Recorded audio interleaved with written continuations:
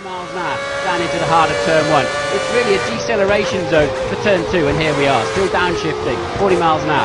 And launch out of there, incredible grip and traction. The engine singing its head off up to 140 before braking for turn three and four. This is an important corner. Just up against the wall, he got away with that. Five is easily full throttle. Right hand side, heavy braking, turn six. You must collect the curb on the left. It's like a railway line pulling the car round. Now, avoid the wall on the exit and you're away.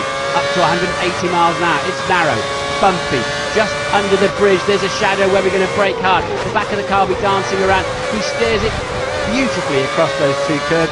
That was absolutely perfect. We're on our way down to the hairpin, 180 miles an hour, get the car straight, press the brake pedal very hard, five times the force of gravity we're slowing down. He just hooked up with the apex. Now Fernando Alonso is just behind us. He is also on a hot lap. He's one tenth of a second faster to this point. It's all about the crucial final chicane. 200 miles now. We're looking for a braking point 100 metres before the corner on the left-hand side.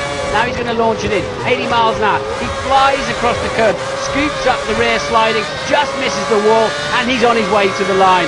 That was crucial, and it gave him pole position.